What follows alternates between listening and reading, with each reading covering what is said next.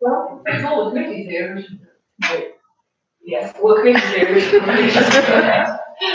Yeah, okay, welcome uh, everyone to the thesis defense of David. David is a sixth year graduate student uh, in my group. He's been doing some very intense uh, layered experiments. Uh, so you see from the title, and we'll walk you through all those uh, pieces. So as I say, David's been here for six years. He came from the Ohio State University. Uh, welcome, off you go. Thanks, Beverly.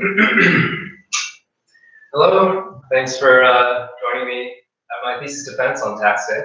Um, today, I'm going to be talking about the spatial temporal response of a compliant wall turbulent boundary layer system um, to dynamic roughness forcing. And as most thesis titles are, this is quite a mouthful, but there are three main elements here. We have a turbulent boundary layer, we have this compliant wall, and then a dynamic roughness. And I want to start this talk by unpacking each of those terms. And first, I'd like to um, acknowledge the support of the AFOSR as well as the ONR for this work.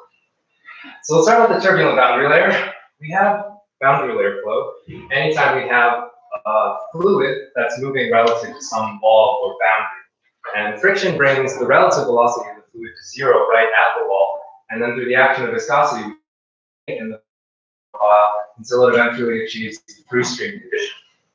And we get this flow in all sorts of applications. For example, we can think of this wall as being the wing of an aircraft or the hull of a ship. And in these engineering applications, the flow almost always becomes turbulent, which is this chaotic flow state of enhanced mass, momentum, and thermal mixing. And these things lead to a dramatic increase in skin friction drag.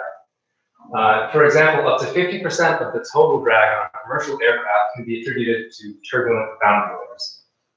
So we clearly want to be able to understand this turbulent phenomenon, but it's made quite complex by this chaotic and almost random nature. Uh, and so one foothold that a great deal of research has taken is the idea of coherent structures. And so within this chaotic flow, we have regions of spatially and temporally coherent flow. So we have this image on the right here of a turbulent boundary layer, and you can see these large bulges that are formed, and bulges like this are very characteristic of turbulent flows.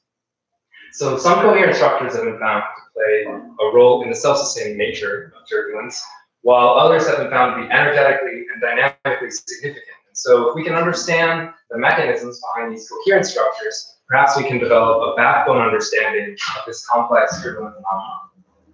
And with that understanding, what we want to do is ultimately develop flow control mechanisms to modify and mitigate some of these effects from this type of flow. So many flow control schemes have been studied, and the one that I want to focus on today is this idea of compliant surfaces, which is simply a surface that can deform under and potentially modify the surrounding flow. And the seminal work by Kramer was inspired by dolphins. Kramer observed that as dolphins swim, their skin forms ripples and can actually deform under the flow. And he thought that this compliance may be part of why dolphins can swim so efficiently. So many studies were inspired by this and followed Kramer. Um, so the work is reviewed by Gad-el-Hak, who himself did studies on the types of instability waves that you can get in the surfaces in this type of flow. However, maybe not a huge surprise, it turns out designing these compliant surfaces to achieve turbulent drag reduction is hard. And that is in part because there's a very large parameter space. There's almost a limitless amount of materials that one could test. And then you also have this complexity from the broadband spectrum of turbulence in addition to the complex interaction with the surface itself. So it's difficult to see what parts of the flow are interacting with what parts of the surface, and so it's very challenging to design some surface to have a beneficial or favorable interaction. Um, however, there is uh, one of many robust observations, which is that the interaction with the compliant surface and the coherent structures in the flow is very key to the efficacy of that surface. So we ask ourselves, can we leverage this idea of a coherent structure to study a compliant surface flow in a more reduced and directed manner? And that leads us in turn to dynamic roughness. Dynamic roughness is simply a wall roughness element that's temporally activated, as is shown in this movie here, with some frequency omega f.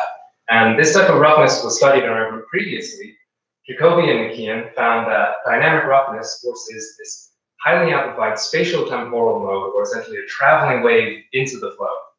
And it can be well characterized by a wave number vector. We have kx, kz, and omega, which are streamwise and spanwise wave numbers, and a temporal frequency. De can then use this synthetic scale from the dynamic roughness and study the interaction with it and the coupled small scales. And the interaction that they observed reflected the type of interaction you get between the scales that naturally occur in turbulence. And so what we want to do is take this synthetic scale that's generated by dynamic roughness and use it to study the interaction between our turbulent boundary layer and our compliant surface. By generating this deterministic input, we can study this problem in a more direct input-output manner. So, after all that, we finally unpack the title of this talk, and we can start discussing the work itself. Um, so here I have a presentation of the outline which follows the chapters of my thesis. We've just discussed the motivation. I'll go through the experimental methodology that was developed. Um, we'll actually skip the facility characterization so that we can jump straight into the results of this work, and then I'll close with some conclusions and future work. So for the experimental methodology, that includes the apparatus design and the measurement techniques and the analysis tools that were developed in order to perform this study. Um, so we want to study flat plate boundary layers, and so we first need a flat plate facility, which is what's shown here. This is the multi-section acrylic plate that was designed. Um, designed with this midsection able to be removed uh, and replaced by a midsection that's been designed for the current phase of the experiment. Um, and so we take that plate and we, we designed a, a mechanism to suspend it in our NOAA water tunnel test section. This is where all the experiments are done in our water tunnel downstairs. And once we characterize this facility, we then developed our dynamic roughness apparatus. So the type of roughness we study here is a two-dimensional thin rib like that, and we we insert it into our mid-plate section that has this receiving inset. So you can see here how the two fit together. The roughness element slots into that slot um, in the plate. And then this roughness element is actuated very precisely by a Bose motor, uh, illustrated here, and it's suspended over a water tunnel and connected to a roughness element. And a significant amount of work was put into the full alignment of this apparatus to make sure that we don't get any vibration transmission between the motor and, and the plate. So once we characterize the dynamic roughness apparatus, we can then take advantage of the fact that we are in a water tunnel versus previous studies which were done in a wind tunnel. And what that means is we have longer flow time scales, and that gives access to higher non-dimensional frequencies, um, which means we should expect smaller or shorter synthetic structures. And this is somewhat of a trade-off. So we get smaller structures, which means we can study them spatially more using PIV, which I'll discuss shortly. Um, but the trade-off is that we operate at a lower Reynolds number. So with that characterized, characterized, we then move to the compliant surface implementation. So here in the plate section, we have a large well that's been carved out that's um, to mold our compliant surface. A little bit about our compliant material. We have selected gelatin as our surface, um, and that's because it's nearly linearly elastic. It's also quite inexpensive, and I'll say it's simple to cook. It's not so simple to mold, uh, as I'll show in a second, and it can also be made very soft, which is useful when we want to get this deformation from the surface, uh, from the flow. Um, so after that, we then did some basic characterizations of the material properties. We were able to estimate a Young's modulus, and then we assumed that the material was incompressible, which let us estimate a shear wave speed of the gelatin, which is an important material property. Um, and then we, we developed a fabrication and a molding process, as well as a speckling technique that allowed us to generate a speckle pattern on the surface, and this actually allows us to measure those surface deformations um, in a manner that I'll describe in a second. And here, I just kind of want to highlight one of the challenges um, in doing compliant surface work. So a great deal of effort was taken to make the surface as, as flush and as flat as possible. But you can see in this image of the surface, it's not quite either of those two things. so the y-axis is definitely not true to scale. We have this large variation on the surface of about 0.8 millimeters, and that's over the span of 150 millimeters. So this is not super visible to the eye, but it's, it's definitely there. And this is something that happens with many compliant surface studies. It's difficult to completely avoid any imperfections in the surface. But one nice thing here is that we have that deterministic input from the dynamic roughness, and that really enables what we'll be talking about later in this presentation. Okay, so the measurement techniques that are employed here are both phase locked to the roughness actuation, so that we can phase out to the data later. To measure the flow field, we're doing two-dimensional particle image velocimetry, and then to measure the surface, we'll actually get all three deformation components using stereo image, uh, stereo digital image correlation, or DIC. So for the PIV, we're using two cameras in this fairly non-traditional knife edge configuration. Um, and this is so that we can optimize our field of view. And then in the stereo case, we also use two cameras. They're just off the normal axis relative to the compliant surface here, and that's so that we get this stereo information and can capture the out-of-plane deformation of the surface. So these are our measurement techniques, and just want to give a quick recap for the experiment. We have this turbulent boundary layer that we are developing over the plate, and then we have a two-dimensional dynamic roughness element that forces this synthetic mode into the flow. And what we want to see is that there is an interaction with this compliant sample that's embedded in our plate. We make flow measurements using PIV and surface measurements with DIC, and we're also performing a parameter sweep. So for example, we alternate our um, actuation frequency as well as our actuation amplitude to see what the effects are on these parameters um, for the synthetic structure. And something I want to point out here is that the goal of this work is not to see something like turbulent drag reduction. Rather, what we want is to get a measurable surface response to this synthetic mode that we're making. We want there to be an interaction for us to study, and then we can build an understanding, sort of start from a fundamental viewpoint and build up to complexity in the future. Okay, and one last thing, um, some of the analysis tools that we're using here to look at the data um, we're doing a triple decomposition following Hussain and Reynolds, and you can understand this from sort of a simple example. Um, this is what we might see if we were to take a wall normal slice in our PIV and look at our velocity field. Uh, we have the velocity is high away from the wall and gradually goes to zero, as discussed before. And doing a typical Reynolds decomposition, you would separate this into a temporal mean component, which captures the average shape of that velocity, and then you would get this fluctuating component about that mean. But because of dynamic roughness, we are putting in a very particular frequency. And so we can extract that frequency using a phase average. So when we phase average, we get this phase average velocity, u tilde, and then we get a new fluctuation about the temporal mean plus that phase average. And you can kind of see visually that if you were to add all three of these components up, you would recover that full velocity. So we'll be focusing on this phase average velocity field. And we will also employ a discrete Fourier analysis. So here, a DFT in time is very much natural from a phase average perspective. And what it lets us do is separate all our harmonic components of our forcing frequency.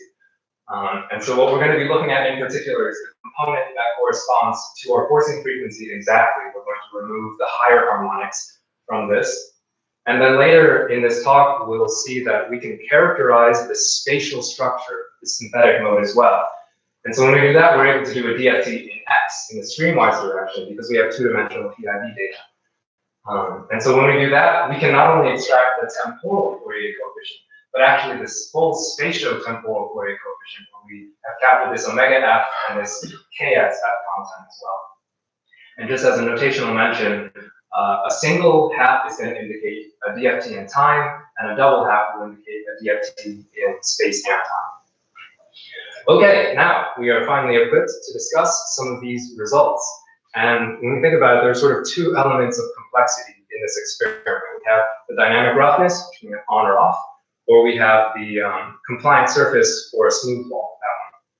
So we're going to add each of these together one at a time We'll look first at the case of dynamic roughness alone, the smooth wall, in order to understand the synthetic mode and to contribute to some of the previous work.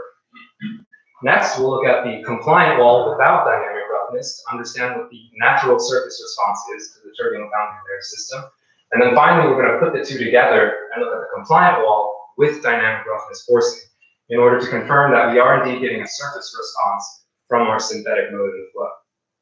And then lastly, we're going to be taking a look at the smooth wall and the compliant wall, um, the flows in both of those cases, in order to try to understand what the effect of that compliant wall is.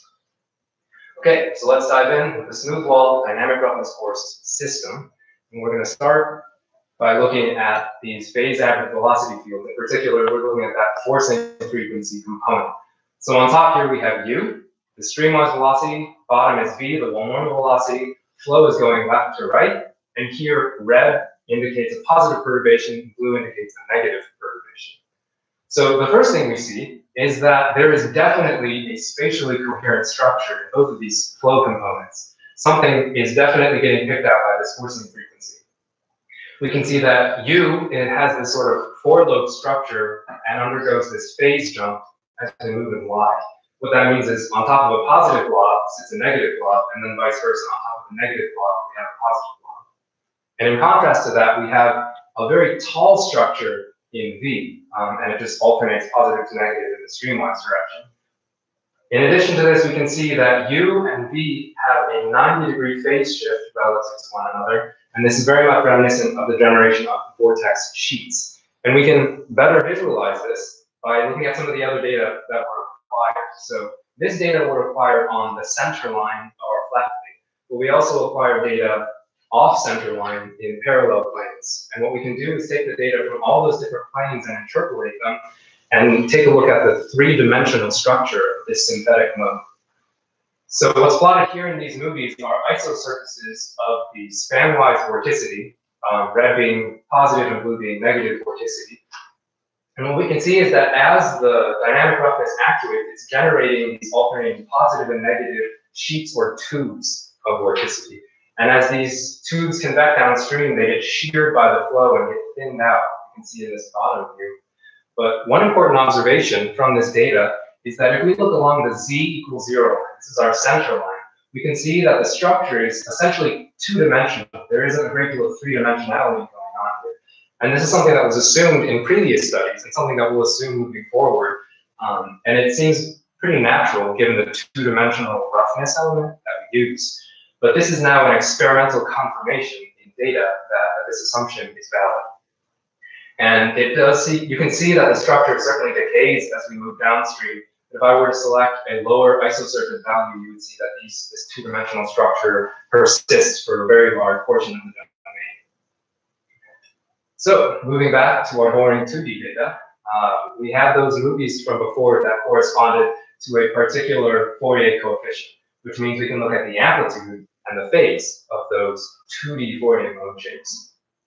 And so that's what we have here. On top, we have the amplitude mode shape, and on the bottom, we have phase. And when we look at the amplitude, what we see is that the perturbation is very strong near the roughness and then gradually decreases as it convects downstream, which is somewhat intuitive. We see this in U and V. But in addition to that, we see that the structures also drift away from the wall gradually, following this power law fit. And this is consistent with observations that were made previously by Jacobi and McKeon of internal layer structures in these rough um, boundary layer flows. Um, one other detail that you can see from this is that in addition to decaying, there's this sort of sinuous pattern on top of that decay rate, this sort of modulation, and this is a telltale sign of amplitude modulation. And this is discussed more in the thesis, but I just want to highlight that this is an observation that you could only make by having sufficiently resolved data like we do here. Um, looking at the bottom plots in the phases, you can see this phase jump in U is represented here as well. You can actually see the line that delineates these near wall um, structures from the far wall. And then again, as we had observed before, V instead seems to be very tall and have nearly constant phase in the wall normal direction. So something that we can do is, for example, take a slice in the phase of V going along X and take a look at what the phase is doing in the streamwise direction. What is that behavior? And when we do that, we have this plot on the left, and we see that it's essentially a linear relationship with X. And we can leverage this by considering a single traveling wave. So if we imagine that V is simply some e to the i kx minus omega t, which is a simple traveling wave. We look at the temporal Fourier coefficient, and we get that it's an e to the ikx form. Some basic complex analysis tells us that the amplitude is then constant, in this case 1, and that the phase, the argument of this coefficient, is linear in x. And if we can estimate that slope, estimate the slope of that linear relationship, that gives us the streamwise wave number or correspondingly the streamwise wavelength of our synthetic structure. And we apply this at a particular slice along y. We can do that for all slices along y. And what we find is that it has a nearly constant value for all these wall normal locations and then starts to deviate very near the wall. So in short, what we've developed is a machinery to extract the, the spatial structure corresponding to a particular synthetic mode. And we can plug this machinery, we can plug our data through this machinery um, and do this for all our different parametric conditions. And so we get the values that are shown in this table on the right. And if we do a parametric study, so we take a look at the data as we vary the frequency, that's what's plotted in this plot here. So we have the data from this experiment in blue, and then actually I'm plotting the data from a previous study, Duvvuri and McKeon, and I want to point out that this is done in a wind tunnel at different flow conditions and also different motor actuation conditions. And despite that, we see that all the data seem to lie on the same linear relationship. So we can do a fit to get this linear relationship, and we find um, this expression. So what this is doing is giving us kx as a function of our forcing frequency. And this is actually a very useful, useful relationship for dynamic roughness, because what it means we can do is we can pick a synthetic length scale that we want to target, pick a particular scale that we want, and this tells us what coursing frequency we should use to achieve that. And clearly, you know, there's some validity both in our water tunnel as well as in our wind tunnel. And this relationship is something that we did not have before, and hopefully will sort of add value to dynamic roughness as a tool in the future. So all said and done, what we what we have is a nice framework, way to process the data from our velocity fields, and we're going to use that later in this talk. Now we're going to switch gears and look at what happens with our compliant wall without dynamic roughness So as mentioned, we have DIC data. We have all three deformation components. We have dx, dy, uh, dz deformations. And on top of that, we have this data in three different fields of view. So we acquire data, here's sort of a top-down view of our gelatin sample. We acquire data in a leading edge, corner, and trailing edge field of view. We can calculate a temporal power spectra and then do a spatial average in each field of view to get sort of an average power spectrum for each field of view. And so that's what I'm showing in this plot here. These are the power spectra for the wall normal deformation for each different field of view. And this is discussed a lot more in the thesis, but I kind of want to point out a punchline here, which is that from these plots, we can identify several spectral features that have a mean amplitude on the order of 1 to 5 microns, which is very small, especially relative to our boundary layer thickness. Um, but it is still um, resolvable given the DIC uncertainty that we have. And another observation that we have of this is that the wall normal deformation dy is very prominent in many of these spectral features. And so moving forward, we will focus solely on this dy component of the deformation. So now that we have these power spectra from which we can characterize these features, we're going to look at the compliant wall now with dynamic roughness forcing. And looking at the spectra, here we have in red the unforced spectrum, and then in blue we have the forced spectrum. And we see that for the most part, the, the, the, spectra are fairly similar. There's definitely some difference in the low frequencies, which again is discussed in the thesis. But the most prominent difference is this peak in the roughness force case that's occurring right at our forcing frequency, which is 5 hertz here. So what this is saying is that the energy that we are, are putting in through dynamic roughness is living right at that forcing frequency and doesn't seem to be modifying the spectrum uh, a great deal otherwise. So what we can do is do the same thing we did with our PIV data and extract the forcing frequency component, um, which is shown here.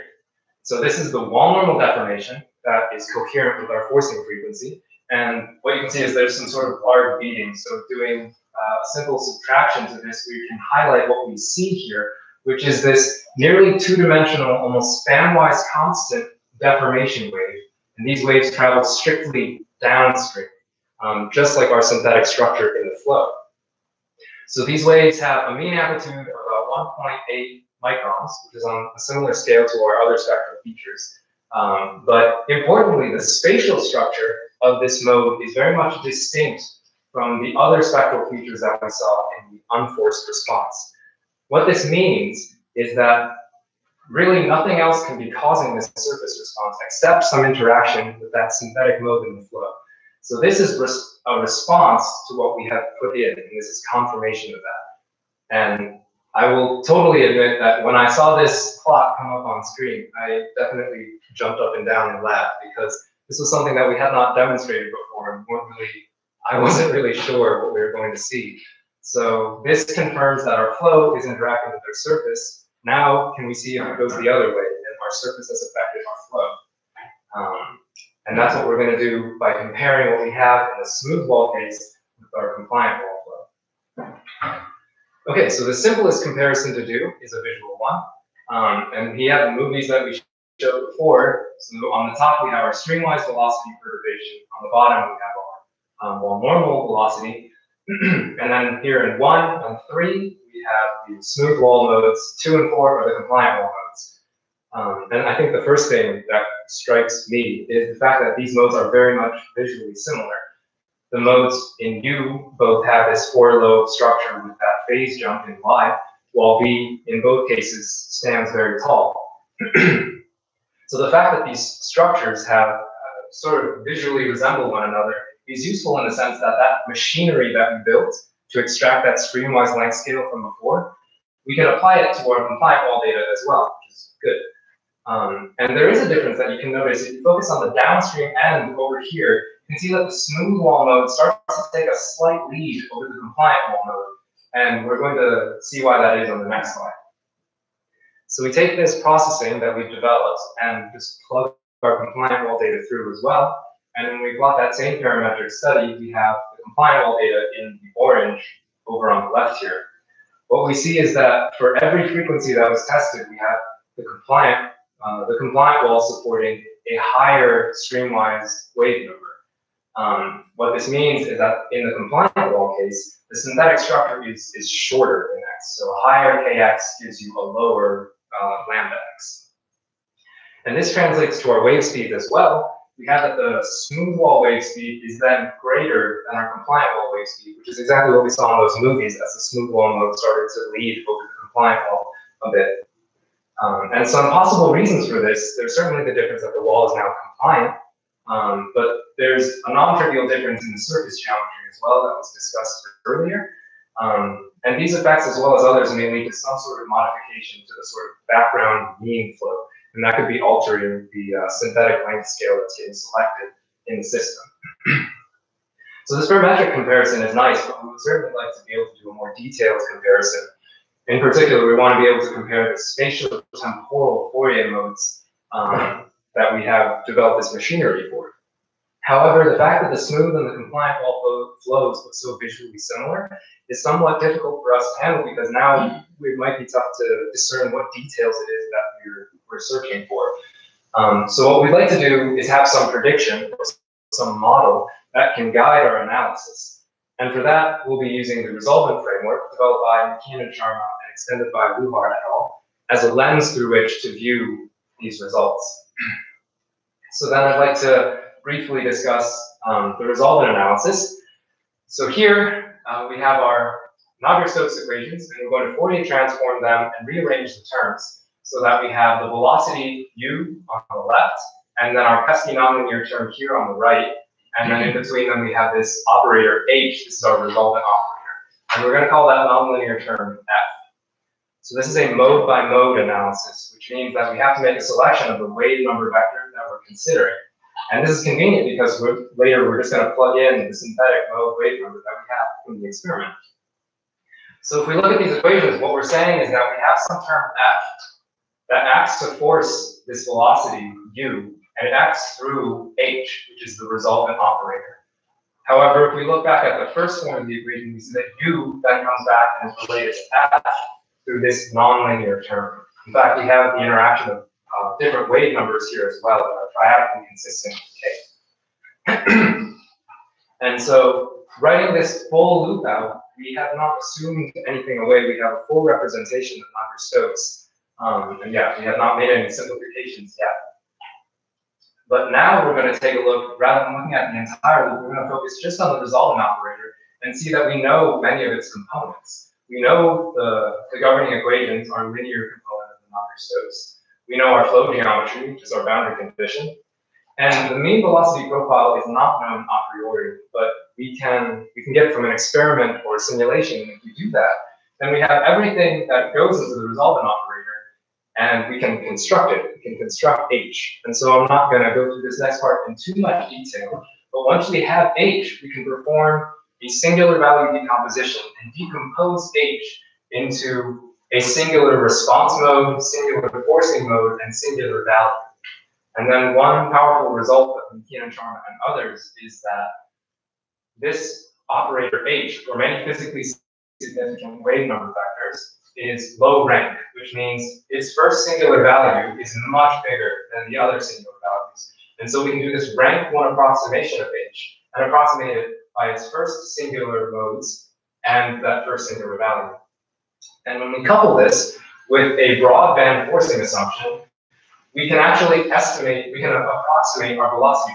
In particular, if we only care about the mode shape, which is all we care about in this study, we can approximate u by just looking at that first singular response mode. And so I'm going to call this psi from now on geometry. And if we can somehow get our hands on a mean profile, we track this resolvent mode that lets us predict what the shape of the velocity may take.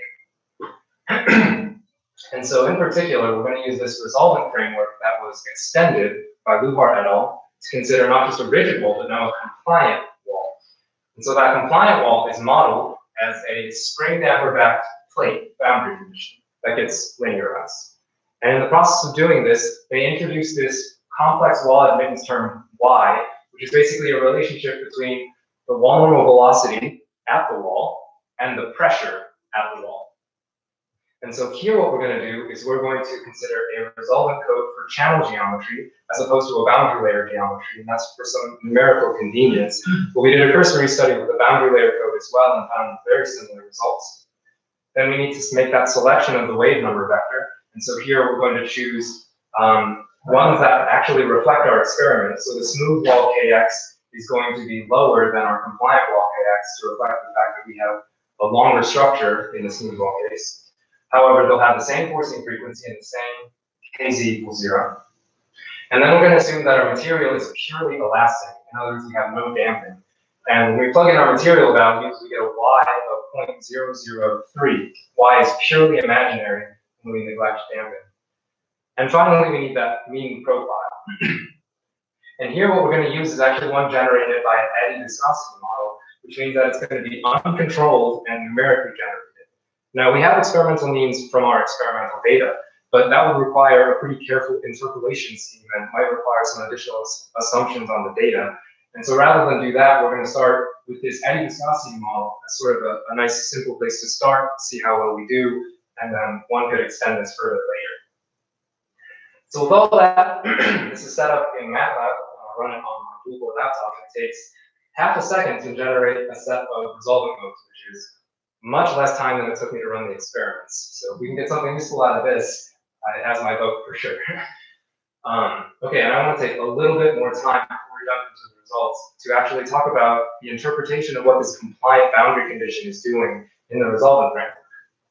So for a purely imaginary surface, we have, again, that that wall admittance term is purely imaginary, and the coefficient is positive. So if we look at the form of y, again, it's this relationship between v and p. And some simple complex analysis tells us that if y is purely imaginary, that we have to have this phase condition between v and p. Namely, that the phase difference between these two has to be positive pi over 2. And this occurs at the wall. but if we combine this with what we know from previous resolvent studies, we know that the phase difference between v and p is actually minus pi over 2 away from the wall. And what's more, we know that the phase of P is essentially constant all the way down to the wall. So if we combine these pieces of information, we have some phase relationship at the wall, a different one away from the wall, and P cannot help us achieve that boundary condition. That means V has to do the work. This means that V must undergo a pi phase jump as it approaches the wall. And what a pi or 180 degree phase jump is, is simply a, a change in sign of V. And so what the elastic wall is doing is it's generating a V at the wall in opposition to the V away from the wall. So visually what this is, is if we have this V structure sitting up here, then what the wall is doing is generating a V in opposition to this. So we have positive away and negative and vice versa. And now a little bit uh, more math, if we have positive out here and it goes to negative, or negative to positive, this means that V must achieve zero somewhere in the middle. And where V equals zero, we essentially have some wall feature, this virtual wall that stands above the actual wall. And this virtual wall is exactly what is observed in a different type of flow control study called opposition control. in fact, Luhar et al. did an opposition control study using resolvent analysis, and what they found were these mode shapes, and this is the signature of that virtual wall that we just discussed. So here we have the mode amplitude, and look at what happens when we turn opposition control on, we develop this local minimum or a cusp in the amplitude. And right where that cusp occurs, we get this pi phase jump in the mode as well. And so this is exactly the same as what we would expect out of this compliant boundary condition. And so we want to keep an eye out as we look at our resolvent modes and see if we have this signature for opposition control in our case as well. Okay, enough math, let's look at some plots. We're going to do a smooth versus compliant wall comparison, and we're going to start looking at those spatial temporal reporting modes along with the resolvent modes. And that's what we have here. This is our streamwise velocity. Um, and so in the top, we have our mode amplitudes, top left. In the bottom, we have our mode uh, phases. And if we take a look at the general structure of this mode shape, you see that it's dual peaks for you, We have a peak and a peak further from the wall. This is reflecting that two load structure that we saw in you earlier, in the earlier movies. And we see that right in the middle of those two peaks, we're undergoing that phase jump. And so that is what we saw before, where we went from positive to negative and vice versa we see that the smooth and compliant walls, which are blue and orange respectively, they have a very similar shape. They both have this dual peak nature, but there's definitely this shift that's occurring. The smooth mode is shifted relative to the um, compliant mode. We can understand this from a, a critical layer mechanism. So the critical layer occurs where the mean profile is equal to the phase speed of our mode. And we know that the phase speed of our smooth wall is higher than the phase speed of a compliant wall, which means that the critical layer sits higher for the smooth wall case and is lower for the compliant wall case. And that's what's plotted here. These dashed lines represent the critical layer location. So we can see there's a shift in the critical layers, and that seems to correspond well with the shift in our modes themselves. And that's the case in the phase too. And before we move on, I want to point out that our resolvent modes here seem to predict the general features and characteristics of our experimental modes quite well. We have that same dual peak structure, and it also captures this critical layer shifting behavior because we've informed it um, through the, the wave number selection. Okay, so this has been U. Now we can look at the wall normal velocity V. And again, from those movies, we saw that V is big and tall, and that's what we're seeing in this mode shape. It's a single peak, and it's quite tall. Um, again, we see that there's a critical layer shift between the, the smooth and compliant modes. And when we look at the phase, here's again that constant phase corresponding to that tall structure in V. But as we get closer, and here we make a comparison with resolvent, we can see that indeed resolvent also is exhibiting a very large deviation in the phase, but in this case it's in the opposite sense. So, and so the first thing I want to point out is in the resolvent modes. We can see this cusp feature in the amplitude. We see the jump in the phase. These are exactly the same signature as the virtual wall from the opposition control. And again, this is due to that elastic boundary condition. but it appears to not be so prominent or present at all when we look at our experimental mode. We certainly don't see that same cusp type behavior. And again, though we do see that there's some significant phase variation, it's not in the same sense, excuse me, as what we see in the resolvent.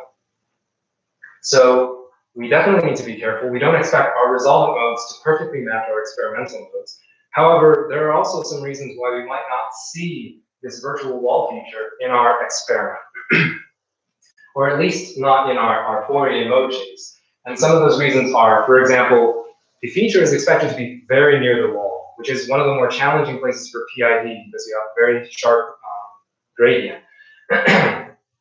Perhaps more dominantly, we have this wall varying this varying wall location, which was addressed earlier, we have this non-trivial surface geometry. And then on top of that, we have other deformations.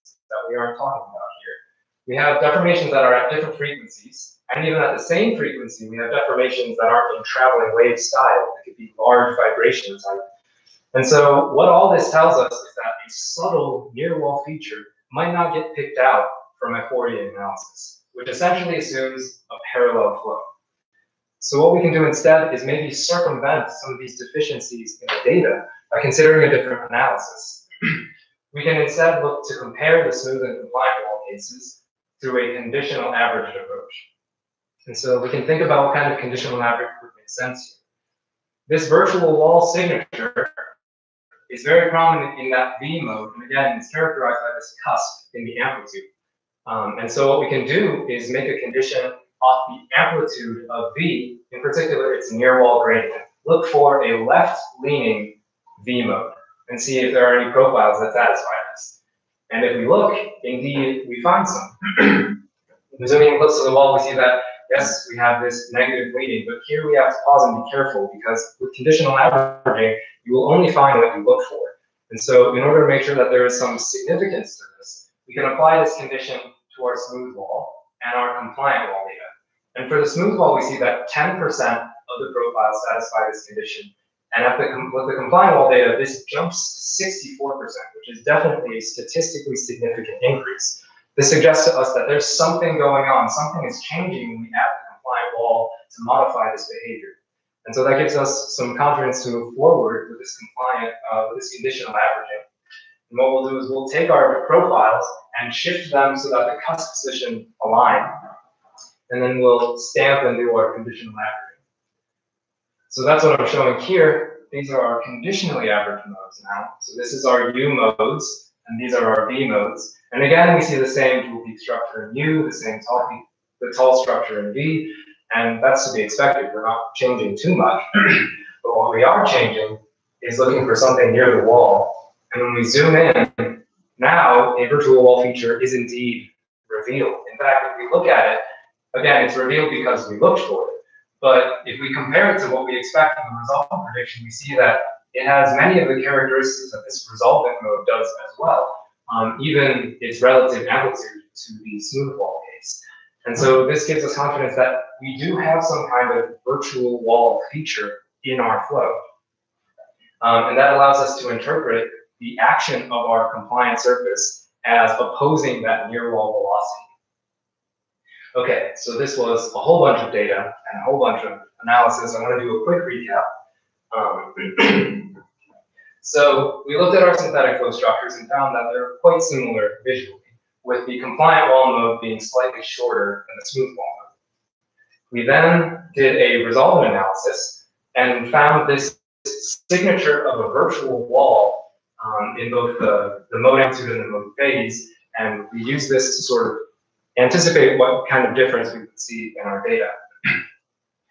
then we took a look at our Fourier mode shapes and and saw that the smooth and compliant wall had a very similar mode shape structure, this dual peak and U, and this tall V structure, as well as exhibiting this critical layer shift um, in both of them, both also well captured by the resolvent predictions. However, this virtual wall feature was not present in our Fourier modes.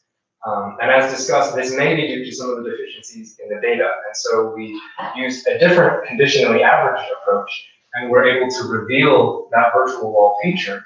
And it allows us to interpret the action of our elastic surface as opposing this near wall V, just the way uh, position control does. Okay, now I'd like to provide some conclusions and discuss a bit of future work. Here we have studied an elastic compliant surface, interact experiments, um, and design phase-locked flow and surface measurements and we also developed um, processing through the, uh, the analysis of the data. We were able to make some contributions to dynamic roughness understanding by developing this spatial description of the flow.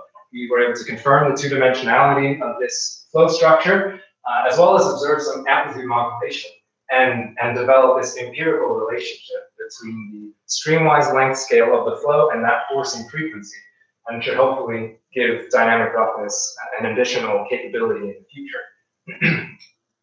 and then we looked at the compliant surface with this roughness force flow, and first characterized that unforced surface response And we use that to confirm that indeed we are eliciting this surface response to the synthetic load that we're putting in. We do have the interaction that we were looking for.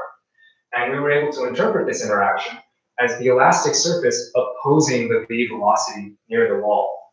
And what we've also done is experimentally demonstrated the efficacy of a compliant wall resolvent framework. I'd like to give a couple comments on resolvent analysis, which at the beginning is really just airing out dirty laundry. There's tons of assumptions that go into this. Um, and so we, for the compliant wall model, we've assumed that the deformations are in the wall direction only.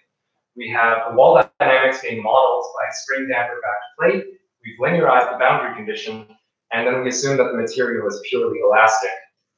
On top, we use the code for channel geometry as opposed to a turbulent boundary layer which has flow development. So we've made an assumption of parallel flow.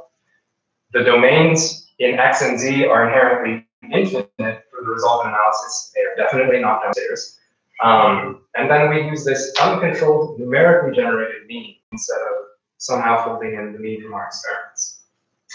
On top of this, we have very limited inputs. This is just to highlight so the only things we put in from the experiment were the wave number from our synthetic structure and then the wall admittance of our material. Again, we could have done something with our mean velocity, but instead we chose to do this numerically generated mean. So given all these assumptions and these limited inputs, the resolvent modes still were able to qualitatively capture many of the features we saw in this experimental mode. For example, again, that dual beat structure, the phase jumps, the tall structure in V, um, the qualitative match is quite good, and what it enabled us to do is predict some very subtle feature that might have otherwise been missed, this virtual wall that occurs so near the wall. Um, and it allowed us to make a connection to a different type of flow control mechanism in opposition control. So I think, given all the assumptions that went into it, the resolvent analysis was still a very useful tool in analyzing this data. So finally, for a bit of future work, on the side of dynamic roughness, we have here looked at the two-dimensional roughness element in 2D perturbation. Um, so naturally, one could try to consider a three-dimensional element, and that's because turbulence is a naturally three-dimensional phenomenon. One could also more optimize the PIV for near wall measurement, um, and that could enable some optical wall shear stress measurements, which could allow you to get, well, wall shear stress measurements with the synthetic structure, which I think could be an interesting dimension to add to the literature. Um, for the compliant surface, there have been some improvements that can be made in the molding process, which I've identified in the thesis, and this could lead to a smoother surface geometry and make a more robust analysis. One could also consider a more complex material, so viscoelastic material, to consider the effect of damping and some other material properties. And then following the degree in one could look at a two-frequency actuation waveform, which essentially excites two different synthetic structures where they interact in the flow, but then also could be interacting with the surface and look at this incredibly rich system. And then finally, looking at the resolvent analysis, you could definitely think about what kind of interpolation scheme would allow you to consider the experimentally modified mean. And this would allow you to fold in the effect of the dynamic roughness as well as the compliant surface. One could look into the spring damper back plate boundary condition and look to model this in a more accurate viscoelastic material model and look to see if the predictions improve. Can also look to account for other deformation components. So we here focus on dy, but we also the streamwise and uh, spanwise deformations too. And finally, this is really sort of zooming out to the future for resolvent, but there are some people in our group who are looking into how you can model the scale interaction. So instead of just looking at one K, you can look at the interaction of multiple Ks, essentially looking to close this feedback loop, which would really further resolvent analysis as a predictive and, and um, powerful tool. okay, with that, I would like to conclude the technical component of this thesis defense. Um, and I absolutely could not have done this without the support of a lot of people, so I'd like to go through some acknowledgments now. I want to thank my thesis committee, um, Maury, Dale, and Robbie. they have all contributed to my work through their questions at my candidacy exam and Tuesday talks and the classes that they've taught and through personal interactions. I, I really appreciate their expertise and their time. Um, it's very valuable. And of course, I want to thank my advisor, Beverly. um, for her knowledge and her for her support and also endless patience. Um, somehow, I think I got super lucky, and I think Beverly was basically the perfect advisor for me. I think she's been endless support and found this incredible balance of letting me beat my head against a wall so that I can figure something out that I need to, but also not letting me marinate in hopelessness for too long. and um, I, I really appreciate it. And uh, she's been an excellent mentor and role model, and I really hope to emulate her example as I move forward in my career and in my life. Um, and she's going to come up later, so that's all I'm going to say now. I also want to thank the GALCIT Machine Shop. Joe and Stephanie and Ali um, and Matt. They've been really excellent. Not only have they helped make, or they just have made this experiment, but they helped make this experiment good and also make it physically possible. Apparently, they care about that with machine stuff. Um, but they've really been an excellent group, super fun, very happy to help out and help me learn a lot along the way. So I really appreciate it. Um, the GALCIT staff has been really wonderful. So Dimity is retired now, but Christina and Peggy also have just been super wonderful, taking care of me and really this department, all the grad students. They've been really awesome.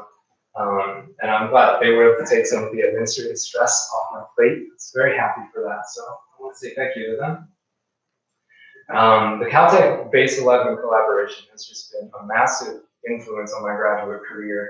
So I want to thank a lot of people for this. Foster and Coco Stanback for establishing the fellowship so generously.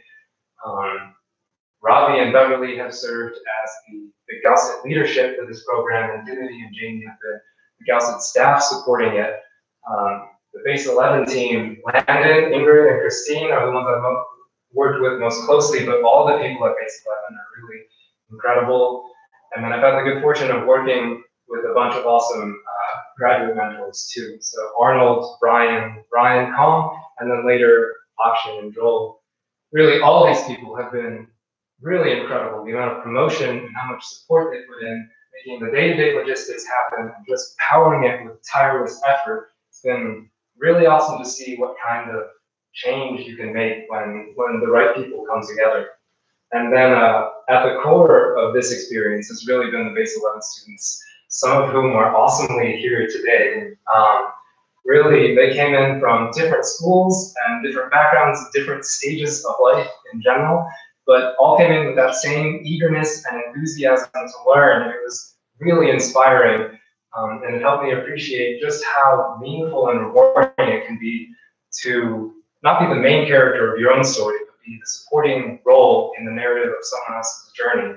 And it's a perspective that I, I really appreciate and I want to carry with me for the rest of my life. So to everybody who was part of this experience, I want to say a big thank you. Um, onto the McKeon group. Somehow work never felt like work, and that's only because we were sometimes not working. um, and a few of them are hopefully watching the live stream now, but I want to thank all the graduate students who came before me, Jonathan, Kevin, Sean, Tess, Esteban, and Reeve, all the graduate students who joined after, Ryan, Simon, Mason, Morgan, and Ben, all the postdocs that I've had the good fortune of overlapping with, Mitchell, Rashad, Scott, and Lucy, Emily, Arslan, and Jane. Um, and then, of course, the lifeblood of the group. Beverly and Jane and Denise.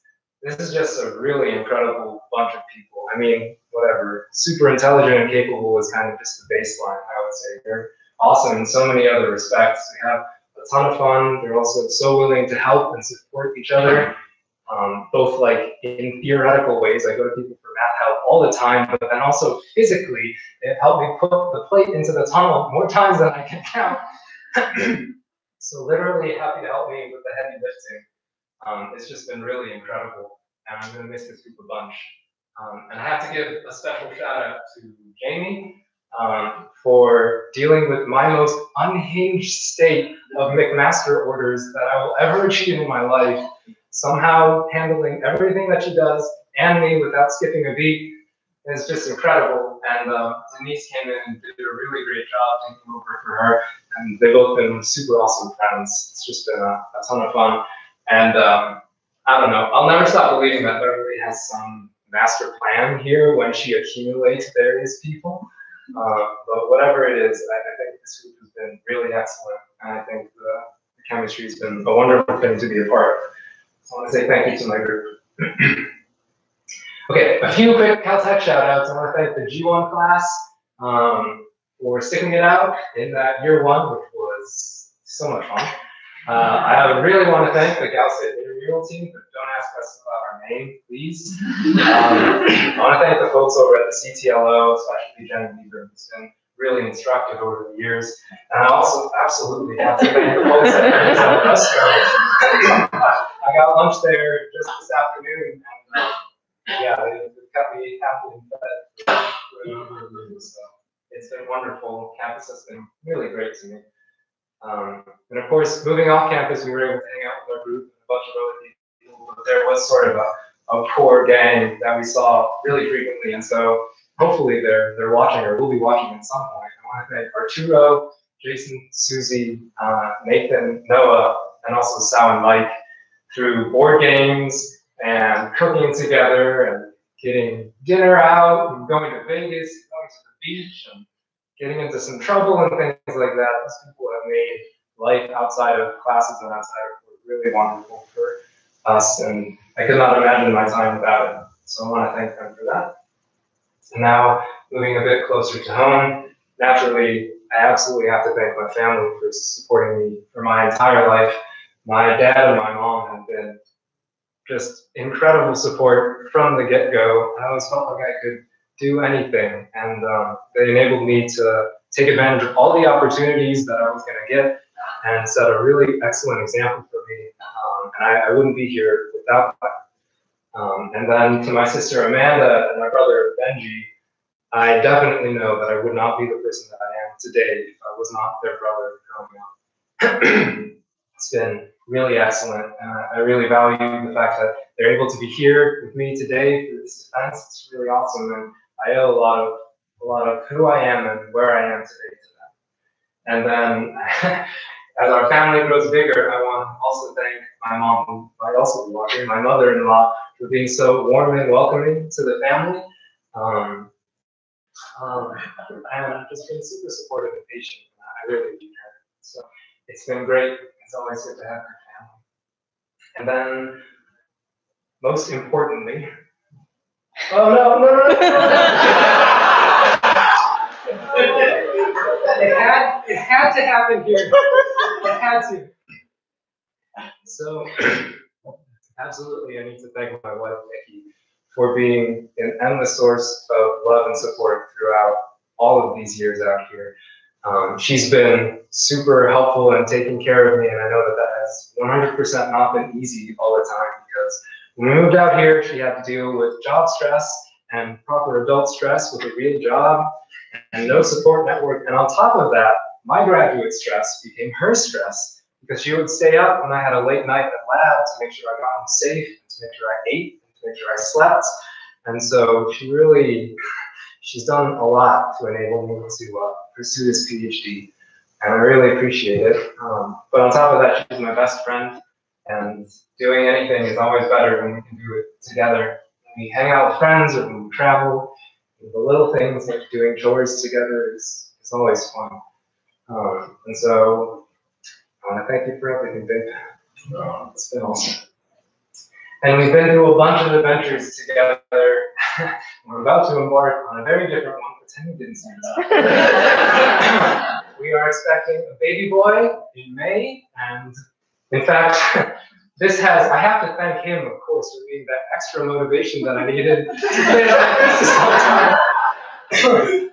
I definitely didn't need that extra stress. but his, his due date is exactly one month from today, so I know he's going to be a handful. As I finish my thesis, he's going to finish becoming a human. He's not even here yet, and he already wants to race his dad. So I, I know he's going to be trouble. He's going to be the best kind. Um, so I'm really excited to start this new adventure with my family. Okay, and with that, I want to thank all of you for your attention, and I'll happily take any questions you have.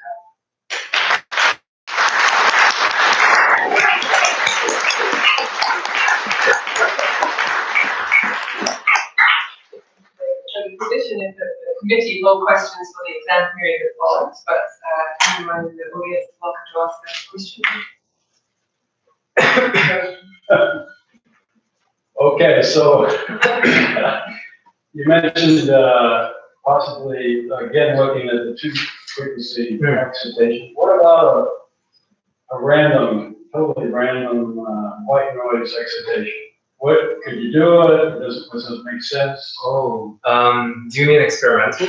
Yeah, So with the Bose motor, it is able to do a lot. You can generate sort of almost arbitrary waveforms, but I would be concerned, from an experimental perspective, I'd be concerned that if you wanted that white noise to be of an appreciable amplitude, the motor may not be able to handle that kind of dynamic load. Um, so in that sense, it, it could be challenging. Also, I guess one advantage of exciting a particular, and in fact, sort of um, non-naturally occurring synthetic structure is that it's much easier to decouple it from, from everything else in the flow. And I guess if you had some sort of white noise signal, that might get a little bit more challenging.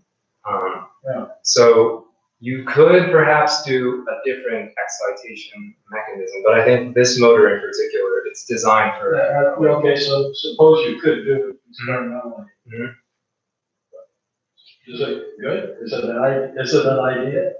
Um, yeah, I guess you might then want to change the questions that you're asking. So here, uh, for example, what Subu was able to do is you know exactly what you're putting in, and with these well-defined instructors, you can study something like triadic interaction. Here, we have something similar where we know exactly what we're putting in, so we can decouple the rest of the surface response to that flow mode. With something like a, a white noise maker, um, I guess you would be asking something different. You'd be looking again at the broadband response of this system. Um, and I, I mean, you could do that, but I, I'm not sure. I'd have to think a little bit more about what you what that would like to do from like a modeling perspective versus if you just let the turbulent boundary layer do do what it wants. Yeah, this, okay, I can, because the turbulence itself produces some noise. Exactly, right. So I think, again, decoupling these things uh, would be a challenge, and then you have to think about what it is that you want to get out of that kind of forcing. That's us.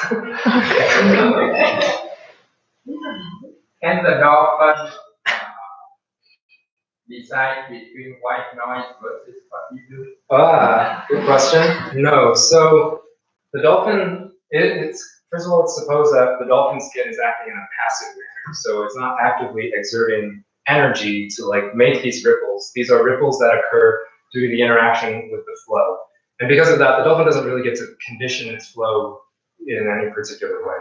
So you get some perhaps shear generated instability waves in the flow regime of the dolphin, and then it would be sort of an evolutionary process to select a material that has the right compliance to mitigate whatever the drag reducing mechanism is. So short answer is the dolphin doesn't get to condition its flow super well. Um, that's actually a different kind of flow control scheme that has been explored. So they looked at with some ships, they've looked at injecting polymers at the hull of the ship to reduce drag reduction. And that's a way that you can sort of do something to the surrounding flow, but dolphins, I don't think, have access to something So the dolphin is neutral. Neutral in what sense? doesn't decide which way. Yeah, dolphin, it, it doesn't. The skin may do something to benefit its flow. In fact, there, there was a great deal of controversy about Kramer's results. And there's a really great line in the Oxford Review paper that says, um, what is it? That experiments in compliant surfaces, sloppy experiments in compliant surfaces do not work. He says that like almost verbatim in this review, which just kind of highlights the fact that a bunch of people tried to replicate his studies and found very different results. You can get super different results depending on the exact nature of this compliant surface um, and things like that. But anyway, there were eventual studies that came out that actually supported Kramer's hypothesis that maybe the dolphin skin is actually helping it reduce drag, although in a different way than what I talked about here. Um, likely what the dolphin is doing is preventing the onset of instability waves through its surface compliance. So basically it maintains laminar flow for longer. um, and prevents the flow from transitioning. So it reduces drag in that way. Um, yeah, it's a long answer to a simple question. We're gonna let him off here. Oh, okay, all right. So, thank you, uh, David. Uh, we'll take a couple of minutes break and we'll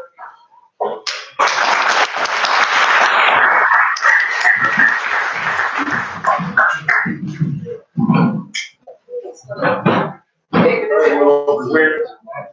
I really appreciate it.